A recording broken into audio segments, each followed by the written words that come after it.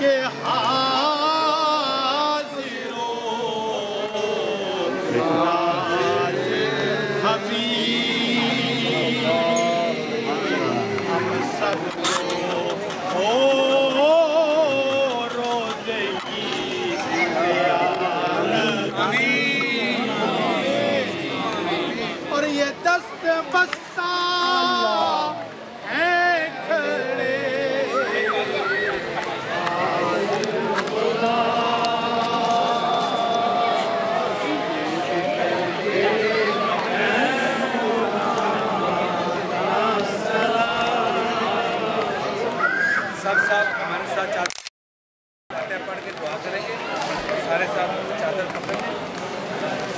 दुआ के बाद